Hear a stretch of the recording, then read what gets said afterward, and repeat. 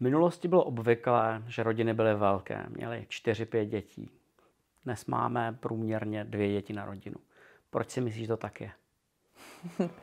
Já si myslím, že uh, to druhé dítě, a to bych chtěla apelovat na společnost, aby, aby, aby se to klidně změnilo.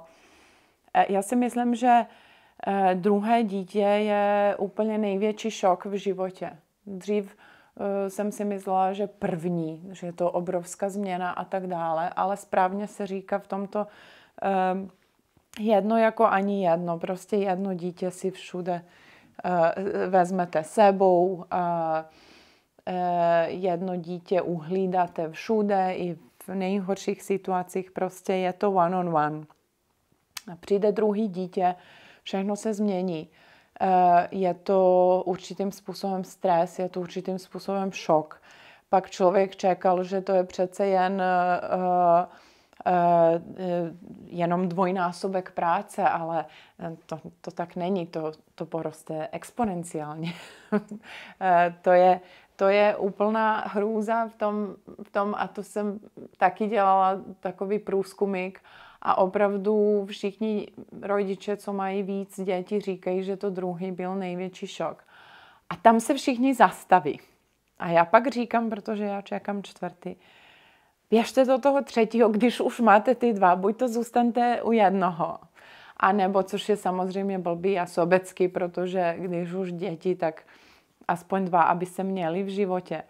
Ale nezůstávejte u druhého, protože to je úplně nejtěžší a to třetí pak přijde jako uh, vůbec, uh, vůbec, vůbec nic. No a pak uh, je ta další otázka uh, a to je, Dobře, a jak budu školit a živit a, a oblikat tolik dětí? No prvně děti dědí v ty věci, takže tam je to jednoduchý.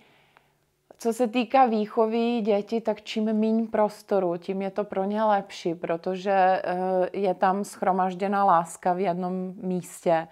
Eh, dneska všichni mají obrovské baráky a ty eh, ty, ty, ty velké rodiny skoro už přestávají dávat smysl, když každý dítě bude mít svoje, svůj pokojček a tam se zav, zavře. Tak proč bych rodila tolik dětí? Tak když mi říkali, že mám budovat další pokojičky, já jsem říkala, ne, maximálně jeden pro kluky, jeden pro holky, jestli vůbec. Nebo asi, asi ano, eh, když začnou dospívat ale eh, co se týká potom těch nákladů, eh, pokud lidi nebudou chtít dělat zase z těch dětí závodní koně, tak si myslím, že a nechají tu individuálnost, což znamená, pokud chceš do studovat, tak studuj. Pokud nechceš studovat a chceš být pekař, tak buď pekařem. A já se nebudu stydět za to, že mu, moje dítě bude šťastný pekař tak potom jako tady tohle to vůbec není žádný problém.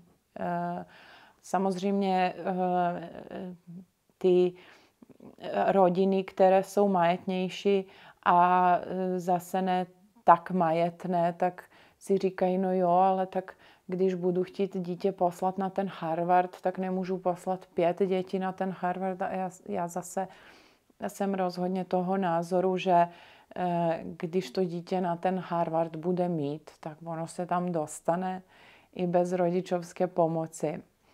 A když to dítě na ten Harvard mít nebude, tak eh, je to jenom ztráta peněz a zase dělání eh, narušování individuálnosti našeho dítěte, že ho vlastně tlačíte za tím úspěchem nějakého druhu, který jsme eh, si sami vytvořili v hlavě, že je úspěch, ale um, třeba je pro něho největší úspěch péct nejlepší chleba ve městě a, a bude nejhrdější na světě, když lidi si mezi sebou budou říkat, jak je to nejpoctivější a nejlepší chleba. Takže um, myslím si, že toto není argument pro to nerodit a nerozšiřovat rodinu na víc než dvě děti.